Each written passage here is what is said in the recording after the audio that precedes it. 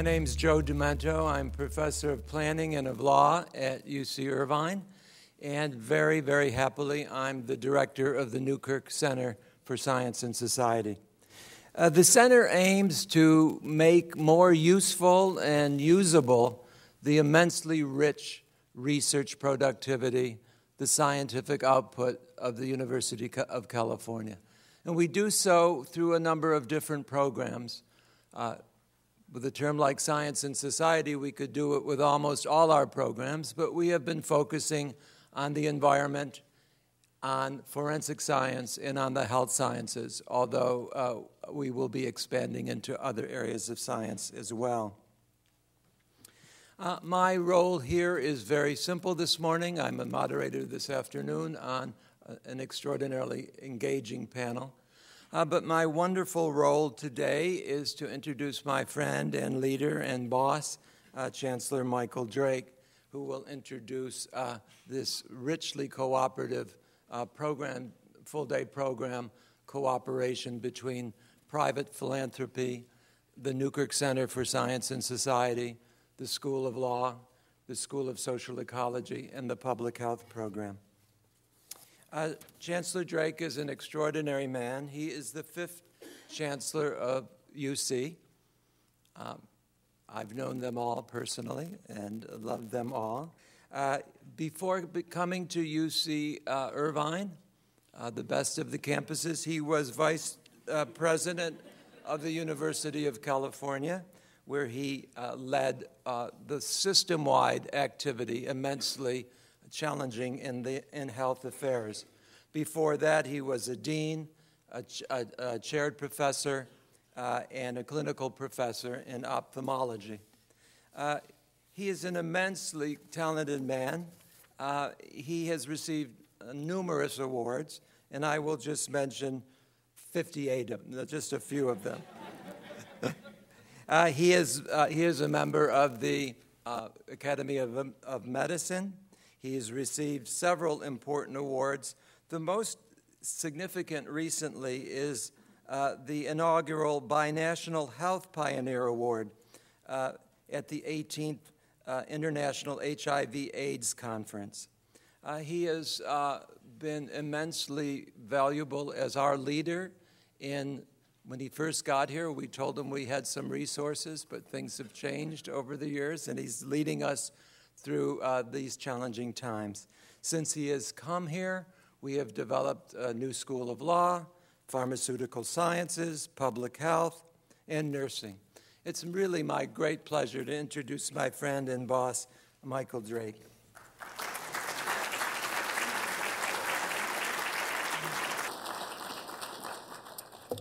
Thanks, Joe, for the kind, kind introduction. I was thinking a bit uh, these last couple of uh, weeks uh, uh, driving around that uh, if you had sort of a blank paper, like a, a yellow pad, and you were going to start a country, let's say, I'd like to start a country, and you got to put down the ingredients that you'd need for that, that nation. Uh, um, what would you what would you write down as things that are really really important? Let's say you're going to do it uh, tomorrow, and you got to have what you need, and you were going to write down what you what you thought would be important to, to, to start a new a new nation. So think about that, and then, um, okay. You're not going to, I would I would guess you won't get that opportunity often, so I would encourage you to think about it.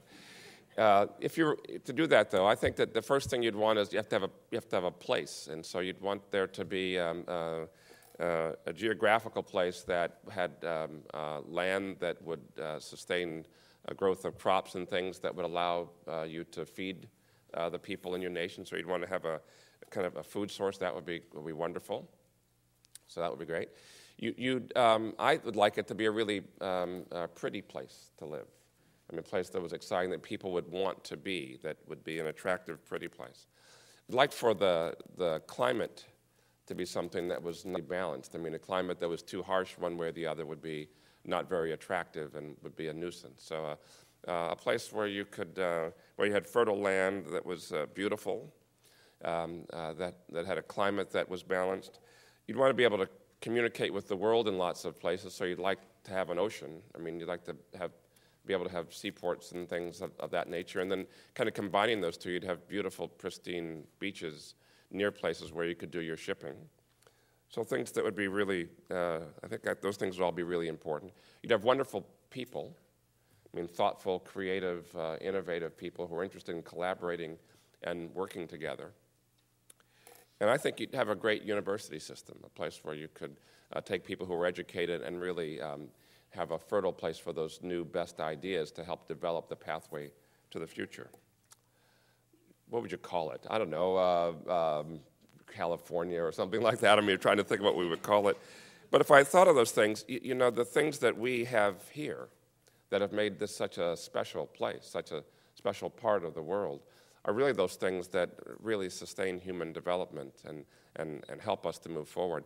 If I think of the, the great ideas that have come from California, there's no one here who's not in possession at this moment, I'm sure, with some idea or some product that came from California. I know that just because you all have cell phones.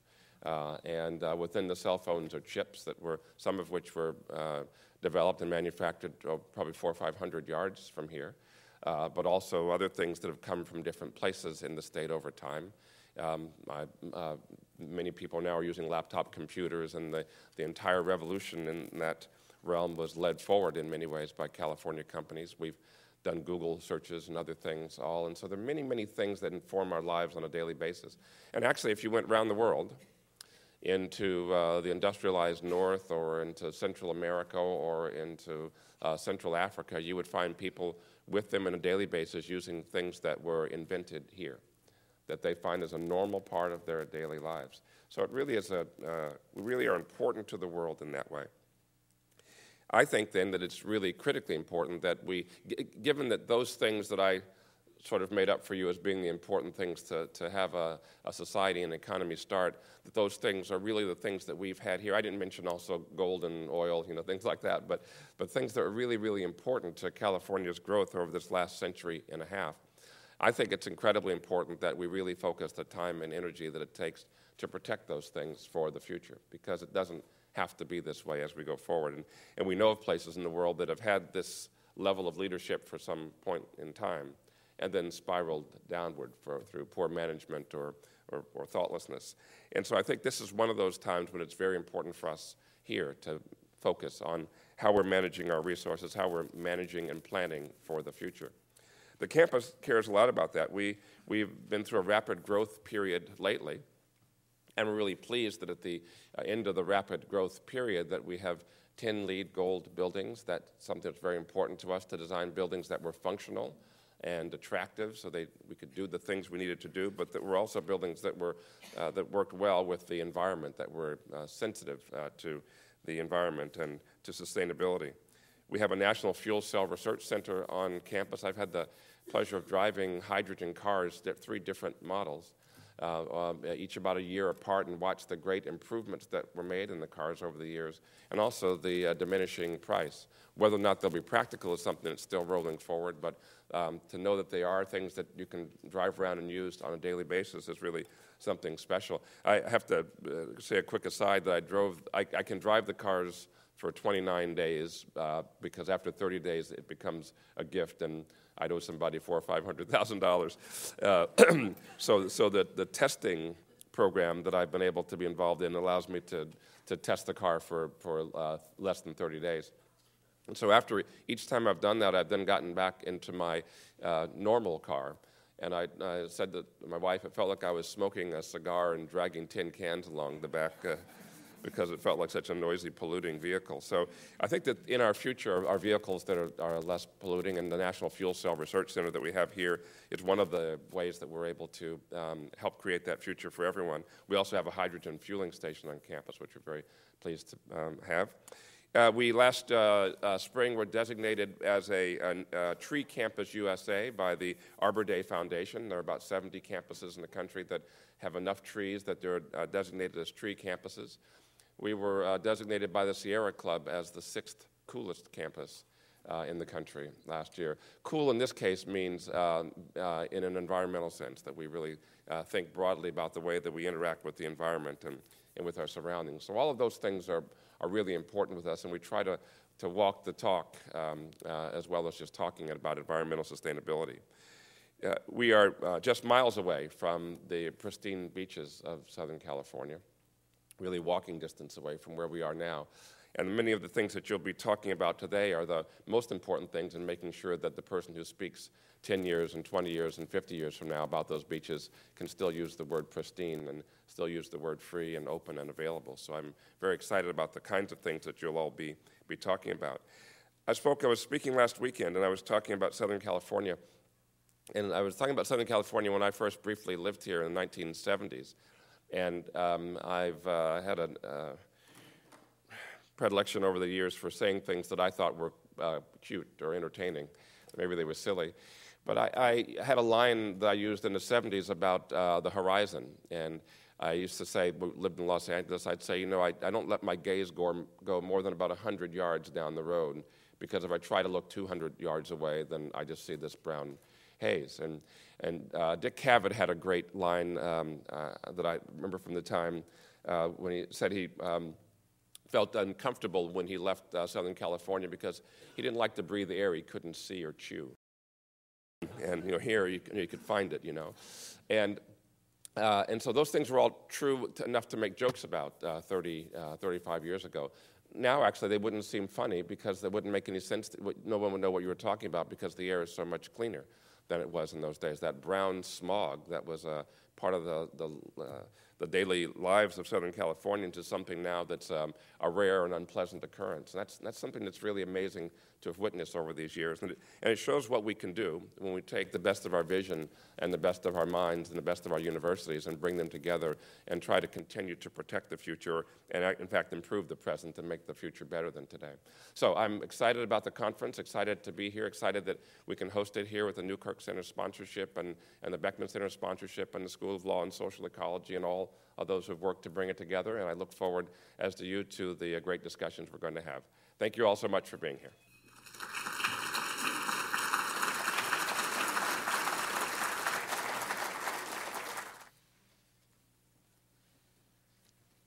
Thank you, Chancellor, for those wonderful words. Our programs uh, at the Newkirk Center and in cooperative efforts with the other schools uh, try to focus on a societal problem in from several perspectives. But fundamentally, we want to start with the science. Uh, and we want to get a background of what the nature of the challenge is.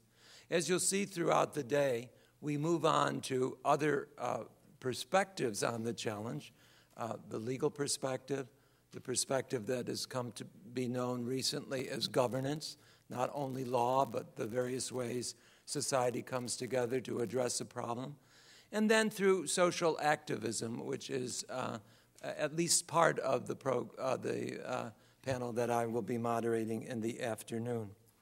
Uh, we start with the science, and it's really my great honor to introduce to you Dr. Elliott Norse, uh, who will begin our substantive comments for today. Uh, like so many really creative and talented people, Dr. Norse began his career at Brooklyn College if you run into people of our generation, so many of them started at Brooklyn College. Uh, after uh, his education, he worked at the U.S. Environmental Protection Agency and the very important President's Council on Environmental Quality, where he de- uh, defined biological diversity as conservation's overarching goal. He's extremely well published with over 140 articles and four books. He's a Pew Fellow in Marine Conservation and a professor at Duke University. It's really my great pleasure to welcome Dr. Norse.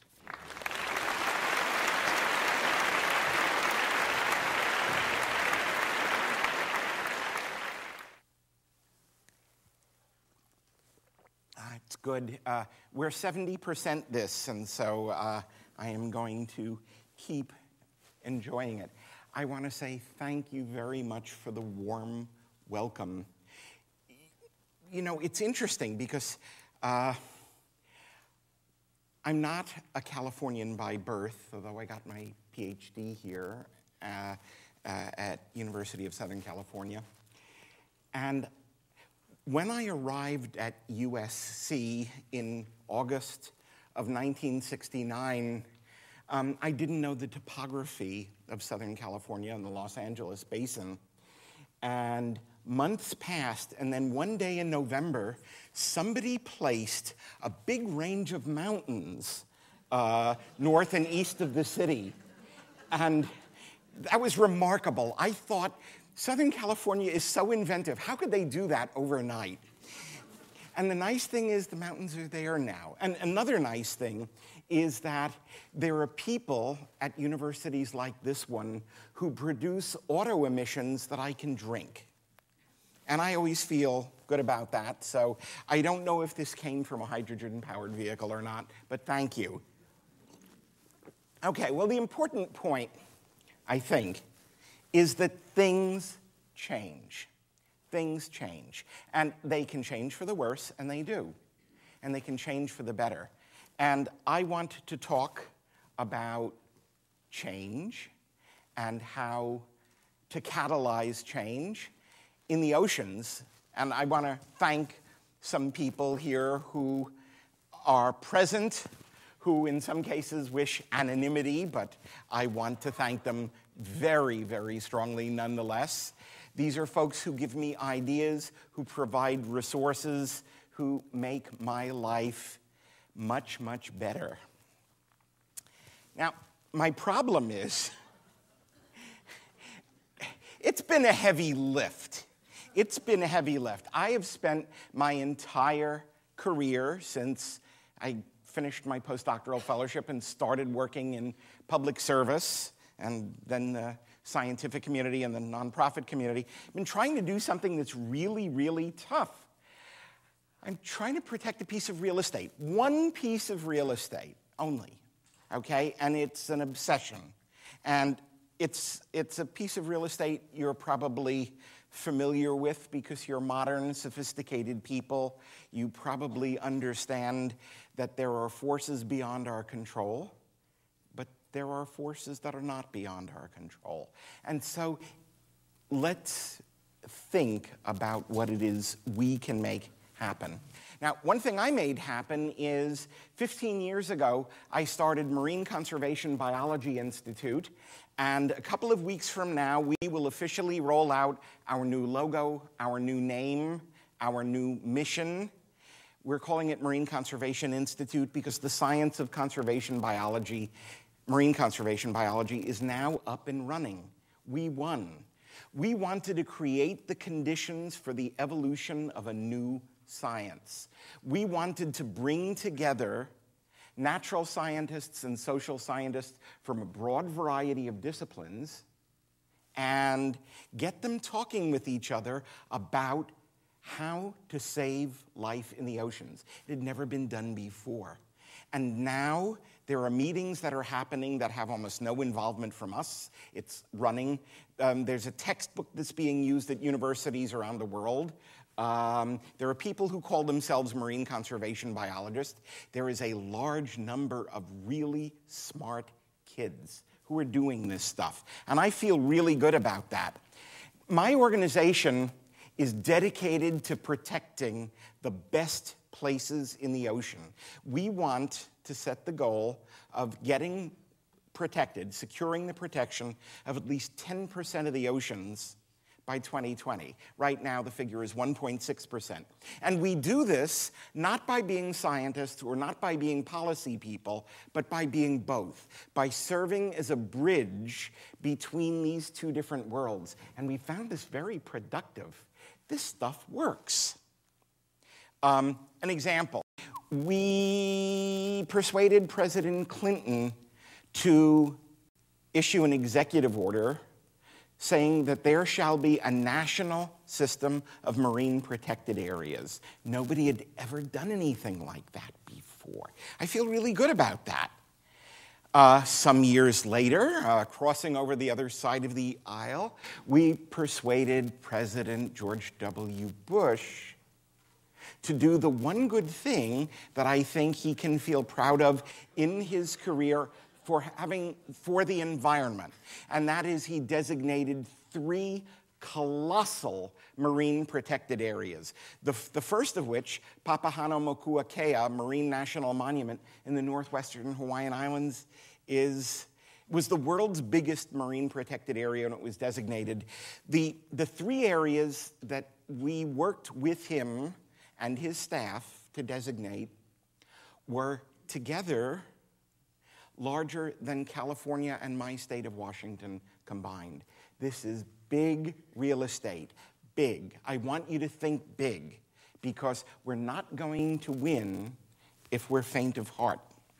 Now, I want to talk today about something that has occupied me a lot for quite a while, but increasingly uh, for some years now, marine spatial planning. And I want to talk about why is it important, what's happening at a national level, and what has this got to do with California?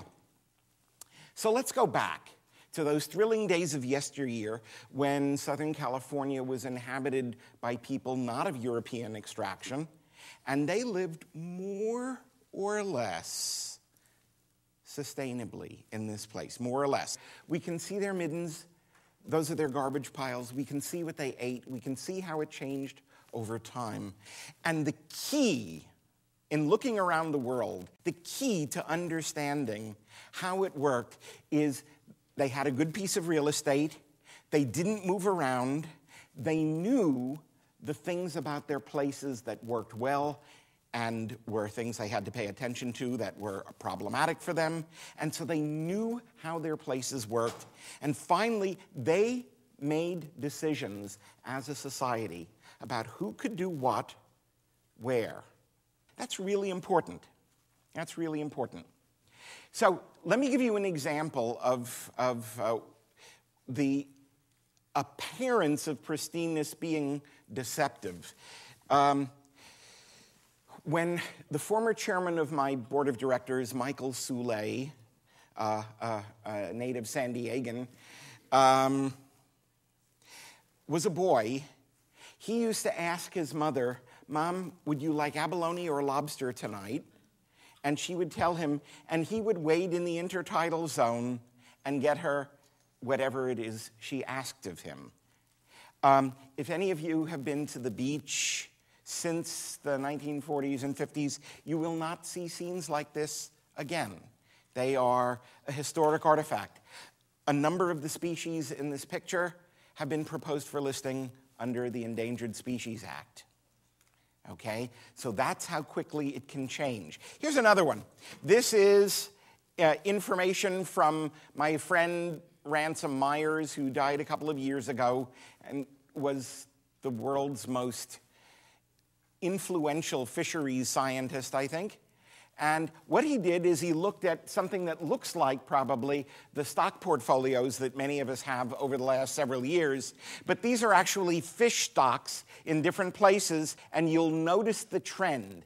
Now, I don't know if that's statistically significant, but I have a feeling it is, and the trend is repeated all around the world everywhere you look, whether we're talking about the tropical Atlantic or the subtropical Indian Ocean or Grand Banks. The trend is the same everywhere.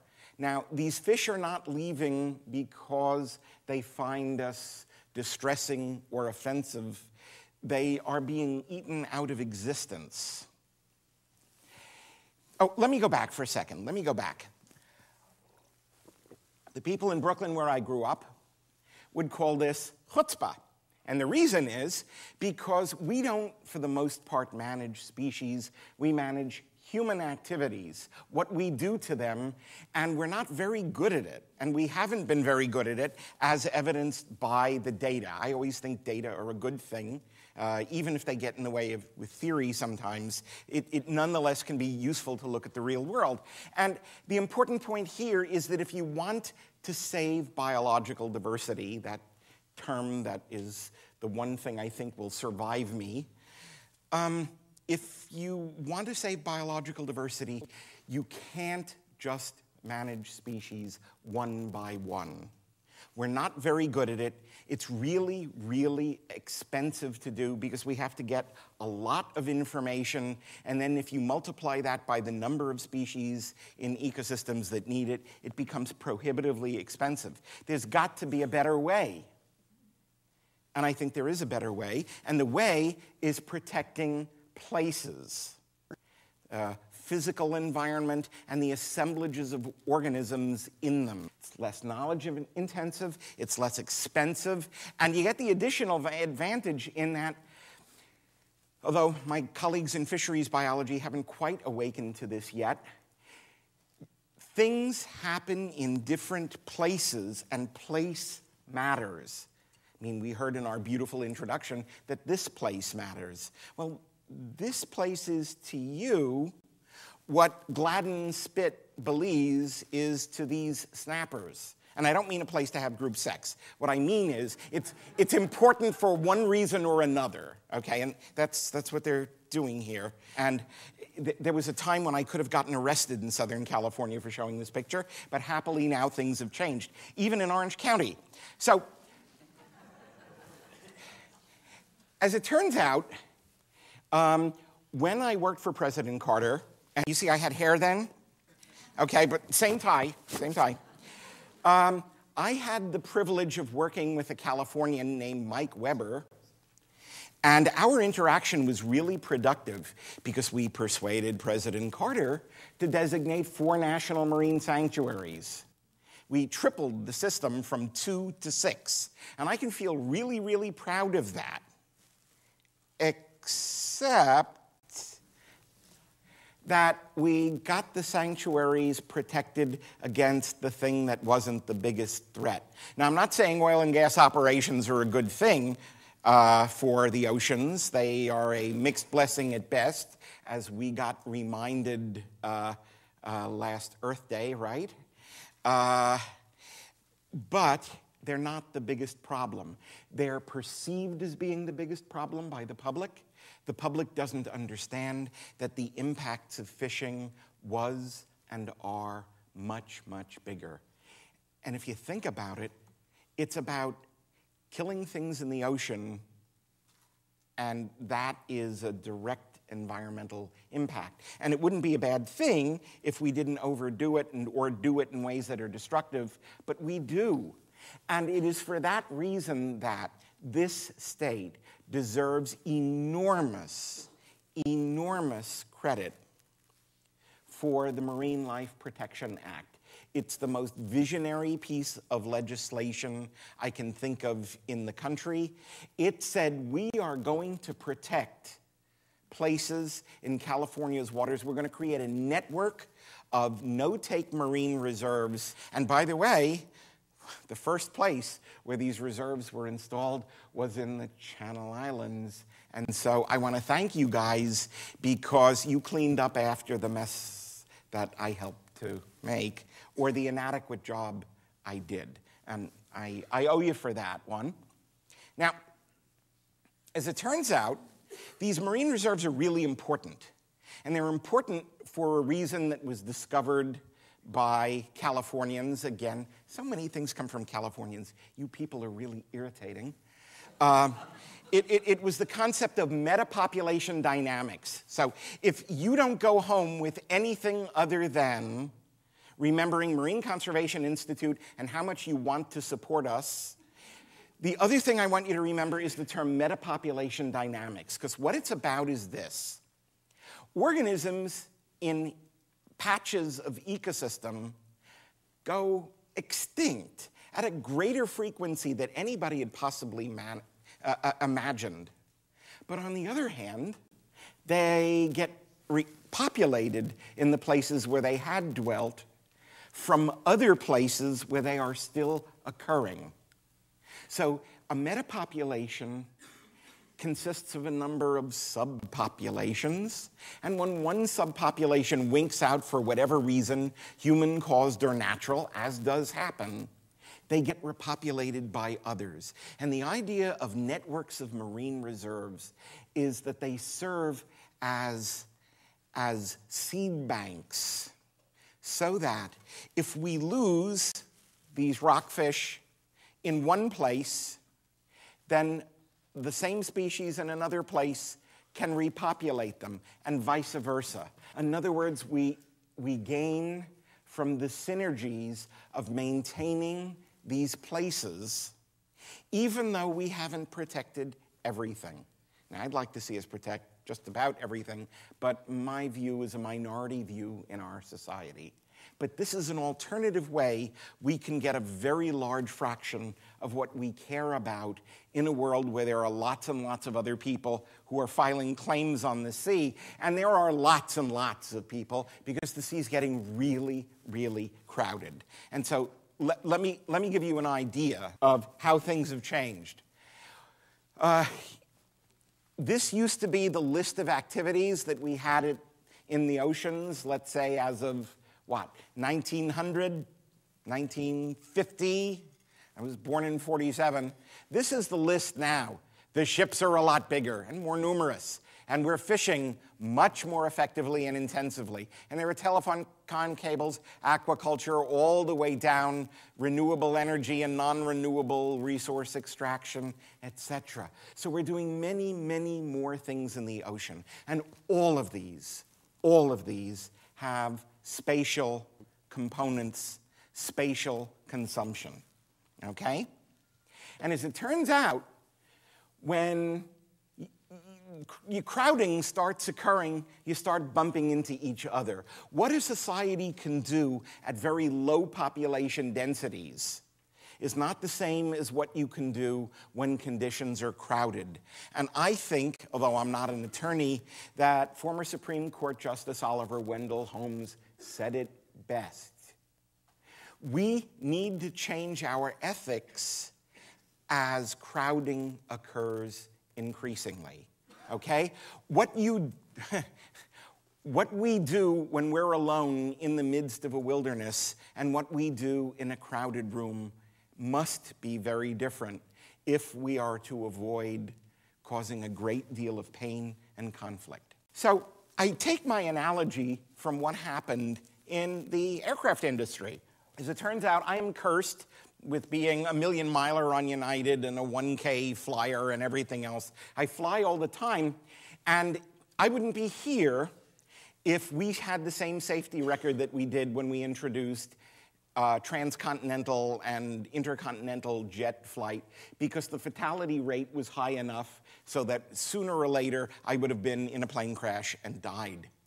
But I'm here and I'm talking with you, and all of you, I suspect, or a good fraction of you, travel a lot. And the reason you're able to do that is because we figured out a way to deal with crowding. What an idea! What is that way? We invented a system of air traffic control. Now, ooh, ooh, control. I just said that bad word. It sounds like socialism. I know, I know there's going to be somebody, probably from Southern California or the great center of the United States, who's going to have me hauled away. But before that happens, what I want to say is controls can be a good thing because individual freedoms are very, very nice until they start impinging on other people's individual freedoms. And then we have to say, you know, it's time to rethink this. We gotta find the right balance between what is good for each individual and what is good for all of the rest of us, right? That's what really every talk I ever give is all about in one way or another. The way we did it in the air traffic control system, in part, was by dividing up a nation that was too big to control at once into 20 regions. And there is somebody in each of those 20 regions in contact with all of the aircraft flying over those regions. And we make sure that the planes don't collide, for which I am deeply grateful. Okay? Well, as it turns out, what do you do with crowding in the ocean? You can do something very similar. And Australia invented it. A nation that has 7% of our population and gross domestic product invented it. And they invented it in 1975. And they started doing it in the 80s, and they redid it in 2004, and it's getting better and better and better. And I hate them for a lot of reasons, and one of them is because they make us look like we're a sort of uh, middling uh, catch up nation. And we have to watch them and observe them and admire them if we're honest for what they're doing. And I want to talk to you about what they're doing. I, I started studying this in 1992. What happened was, I was reading about ocean zoning in the Great Barrier Reef, and I met the most amazing woman, and um, we decided to get married, and we had to figure out where to have a honeymoon. And I said to her, Hey, sweetie, how about this? I will take you snorkeling on the Great Barrier Reef if you let me spend a day talking with the people at the Great Barrier Reef Marine Park Authority, talk about a busman's holiday, about ocean zoning. And you know, I love her because she's beautiful and intelligent and she's easily snookered. And she fell for this one. And so we did it on our honeymoon, okay? We went to Great Barrier Reef Marine Park Authority and I learned the game and it was fascinating. It was fascinating. So some years later, I had the honor of working with really, really smart people fisheries biologists, ecologists, anthropologists, uh, uh, uh, political scientists, attorneys. Did I say economists? I probably did. Okay. The important thing is a bunch of really, really smart people who would normally not ever talk with one another. But we brought them together to have a dialogue at the National Center for Ecological Analysis and Synthesis, just a couple hundred miles up the California coast in Santa Barbara. And we learned to talk with each other in common terms, which wasn't easy because we all, hmm? Because we all spoke our own languages okay? Ecologists don't speak the language of law, and political scientists don't speak the language of, of fisheries biology, and we learned each other's lingo. And we came up with some remarkably profound insights. We published them in a number of papers. This is the one that's most cited. It's the most cited paper in the world on marine spatial planning and ocean zoning, I'm proud to say. And here's what it said is it turns out that the reason things are a mess is because government wasn't built to manage oceans. Government's fragmented and there are overlaps and gaps, and that's a big part of it. And government and nature in the oceans operate on different spatial and temporal scales. So, what's important to nature isn't important to government, and vice versa. Okay? Uh, uh, the, the six year senatorial election cycle doesn't mean anything in nature. But on the other hand, the changes of seasons and whether or not you have an El Nino or a La Nina really do matter a great deal. And the conclusion we came up with is that you can use ecosystem based spatial management and zoning to alleviate the problems. And that was, that was earth shaking for me, it was game changing. And later, we established some of the key ecological principles for doing this. And I feel really good about this. This laid down the things that are sine qua non, without which not, right? This is stuff you gotta do for it to work.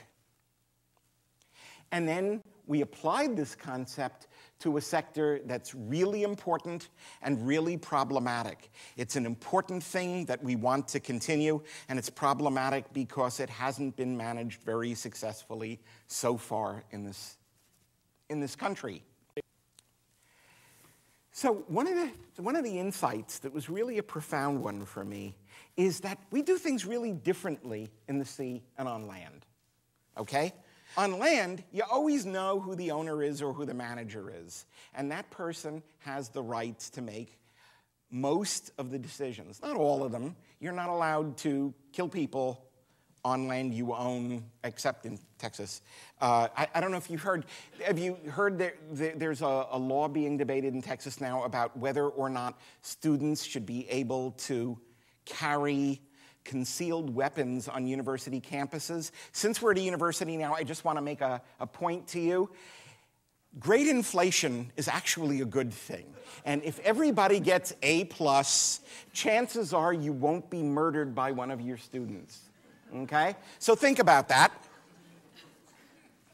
Um, anyway, but on land, there's, there's one authority that generally governs all the decisions. It may be a private landowner, it may be a, a, a state, a municipality, a state, or a federal official. But the important point is you know who makes the decisions, and you have to abide by those decisions or violate them at your peril.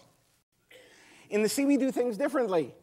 In the sea, what happens is every activity is managed by a different entity. Great system, except for the fact that they interact. And when one entity in a place is doing something inconsistent with the other entity, but they don't recognize each other's existence, that tends to create problems. It's what we call stovepiping or siloing, okay? These different activities are managed by different entities, and the management is vertical, and there aren't any cross linkages.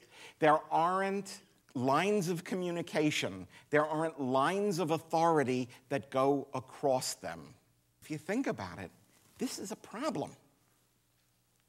Okay? Doesn't deal with the interactions. It gets worse than this. Has anybody ever heard of regulatory capture? What happens is every regulatory agency that's set, that's set up is there to protect the public interest. But then they get sort of cozy with those they're regulating, and Oftentimes, the people go back and forth between the regulatory agency and the entities they're regulating, and it becomes um, a little too intimate for my tastes. Okay? That's regulatory capture because then the agencies are really reluctant to be too hard on those they're regulating. And what happens is things don't work, biodiversity loses, the economy loses, and we don't want that to happen. But right now, the situation has been for years now that everybody is fighting over every bit of space. And nobody is willing to say to anybody else, well, you can have this. Because everybody is afraid. And fear is not a great environment in which to govern.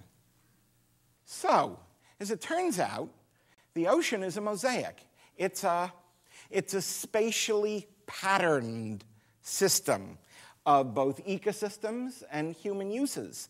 And if you think of that heterogeneity and you think about managing it, you come up with a mosaic way of thinking. It's different from managing everything as if it's uniform and having different entities managing an individual activity without regard to where they are or who else is in the same place.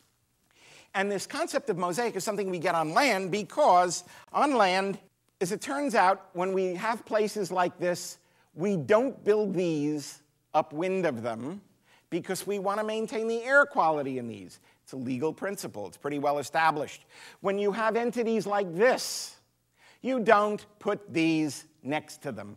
We get that. We get that there are some spatial combinations that don't work, that don't meet society's purposes. Now, it's true in the sea too. For example, okay, uh, here's parasailing, you know, you get pulled behind the boat, and there's wind farms. And the, the, the, people who operate wind farms hate parasailing because they have to remove the red goo from the blades every day, you know? Okay, so these two activities don't work very well together. These two activities don't work very well together either. Trawlers destroy crab pots, lobster pots, and things like that. So there has to be a way to separate them for the benefit of them both and society as a whole. And there's another problem here, and that is on land, people pretty much stay put or they go in public thoroughfares. But in the ocean, people feel they can go anywhere and do anything. And this leads to something called roving banditry. Now, to give you an illustration of what roving banditry is about, ask yourself this question How would you like it If uh, it's a nice Saturday morning and all of a sudden you hear zzz, zzz, zzz, you're hearing a chainsaw, and there's a group of people who have decided because it's good for their economic benefit, right? They come into your yard and they've cut down all your trees. This is inconceivable, whether it's on private land or public land. Any land manager has the right to say, no way, you're not going to cut my trees. In the ocean, they don't have that. The people in the national marine sanctuaries don't exercise the right to tell people what they can and can't do in their sanctuaries. They're not very sanctuary, are they? So I think I think, as my wife has taught me, that boundaries are a good thing, okay? And respecting boundaries is a good thing because it's a way of reducing the stress of living in a crowded world. And when we talk about managing, what we're really talking about is not managing populations or places, but for the most part, what we're talking about is managing people, is making sure that people do things that are okay and not do things that are not okay in a particular place. And in different places, we make decisions that things that are okay and some aren't okay in others. And we conflict as a society, but sooner or later we sort out where we should have our solar arrays and where we should have our desert tortoises. We have ways of, I'm using California examples, right? We have ways of figuring that out in our society on land. We need to do that in the ocean too. So I think the nice thing about this idea of spatial planning that's ecosystem based and zoning is that it recognizes there's a spatial mosaic there in the way nature and humans are arrayed.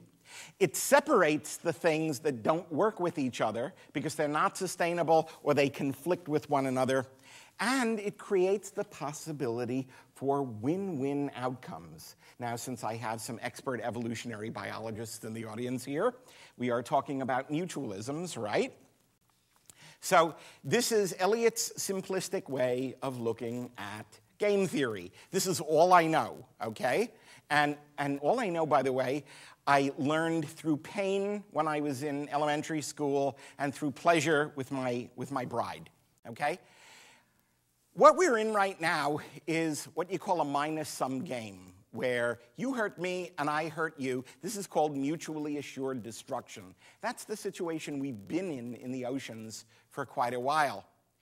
We've done that because we're both trying to fight this game, the zero sum game.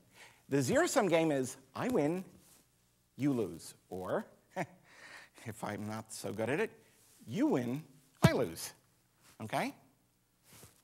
But the alternative is this it's a plus sum game. Shocking. I win, you win. Hmm. Hmm. What an idea. What an idea. So it looks something like this, okay? You get these two fellows and they're pulling, and neither of them gets anything to eat, and then one of them has an idea. Hey, maybe there's a better way. Let's try this and let's try that. And they both get to eat. It's a win win game. It requires communication, it requires coordination, sometimes it requires a mediator or an arbitrator. So, what's in it for the marine environment? Well, we get networks of no take marine reserves and other highly protected areas, like you guys did so well in the Marine Life Protection Act. This is a good thing for conservation. What's in it for the users? Well, it's got to be easier for them to get their permits, and they have to be able to say, if I invest a whole lot of capital in this, I'm not going to lose my money. So it's got to be a win for both. And the way you achieve that is having a cross cutting thing that helps to coordinate that helps communication and sorts out problems as they occur. And that's what marine spatial planning is all about. And the reason it's so important is because we own more underwater real estate than we own land in the United States. Our ocean area is 25% larger than our land area. That's a lot of ocean. We have the biggest exclusive economic zone of any country in the world, and this guy deserves a lot of thanks because he's done more in one fell swoop by issuing his proposed uh, uh, national ocean policy and then finalizing it a year later. He's done more to, to solve the problems that we've made for ourselves than anybody has before. And I, am, I haven't met him. I wish I had. I hope I will. But I'm really, really impressed because nobody's done that before. Everybody else, including the president I work for, took a pass. And this is really important because it says that people will communicate and coordinate and that there will be standards for how we interact and what it is we want to get out of it. And it's going to be regionalized. There's a great devolution of power from Washington, D.C. to nine regions. And that's good because each region has a unity of ecosystems, economy, culture, etc., that are really useful. And in case there are, uh, there are bumps along the way, we have this National Ocean Council consisting of these entities, which previously hadn't been talking with one another in their ocean responsibilities, and they will figure out a way who can do what where if there are disputes. That's a good thing. That's a good thing. And in each of the, the, the nine regions, there will be a citizens advisory body and a body of scientists advising them so that we have a, a chance that this will actually be driven by rational thinking, but also by passionate human interests. The regions look like this. There are nine of them. Some of them are small, some of them are colossal. And the nice thing is because people's values are different in different regions, after meeting the national standards, people can do what they want. So they can identify areas that are important they can reduce conflicts, they can reduce environmental harm, and all the above. Okay? This is right out of the National Ocean Policy. And so, if the people of Louisiana choose to have thousands of oil and gas operations off their shore, if it meets the national standards, they can do that. If the people of California decide, no, no way, we're not going to do this, you can do that. Okay? You don't have to have this happen to your brown pelicans.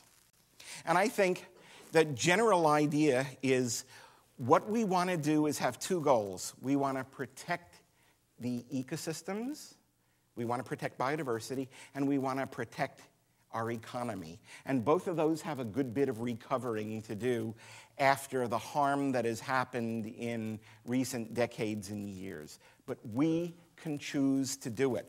We need a strong legal mandate, and we're going to be talking about that, right, Richard? We need, we need money. We need money. Uh, in this current political environment, there are people who are defunding programs all the time. A continuing resolution, if you think about it for a second, you know what that is? It's instead of passing a new budget bill, we're going to give you what we gave you last year. It's a way to stifle innovation. It's a way to stifle your capacity to deal with change. Not the best idea in the world. So, you want to separate incompatible uses. You want to base it on natural and social science, what you know about species and what you know about people.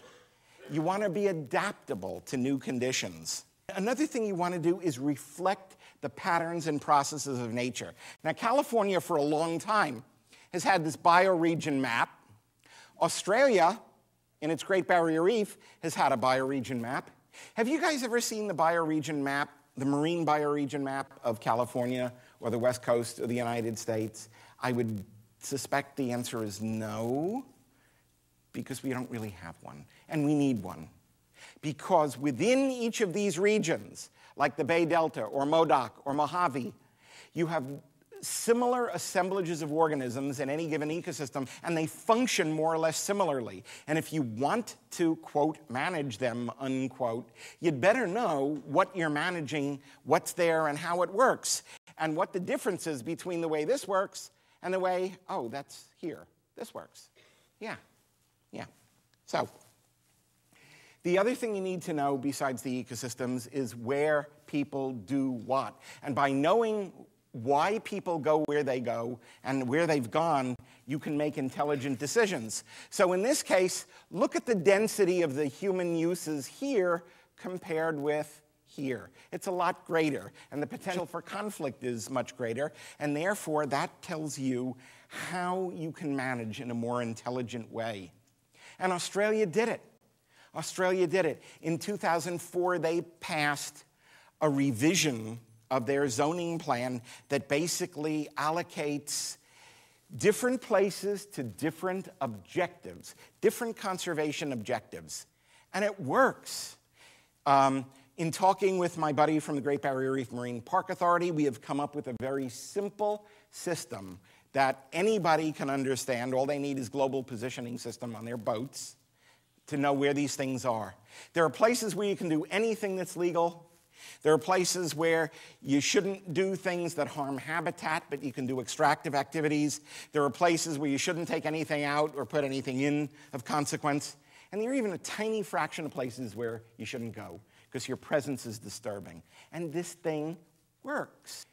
These folks really know the game. And if you want to know what the Bible is, as far as I'm concerned, it was written in Paris. Brian Baird and, and, and a number of us have, have contributed uh, uh, words, although a lot of it, my stuff wound up being apocrypha. I don't know what that was about, Brian. But, but this is the canon, okay? and it's good stuff. And the reason I'm so excited about this is because we have a brilliant, visionary leader heading the Ocean Agency in the United States right now. It's the first time we've ever had a marine ecologist heading the Ocean Agency. And Jane is a friend and someone I've admired since the 1970s. And all I can say is she is catalyzing change. And that's good because there are a lot of people who hate her and hate me. And if they got to know you, they'd probably hate you too. And they are convinced that what we need to do is to stop anything that smacks of progress, adaptation to change. So I think together we can not only witness change, and understand change, but we can work to manage change in ways that's a win win for us all. Thank you.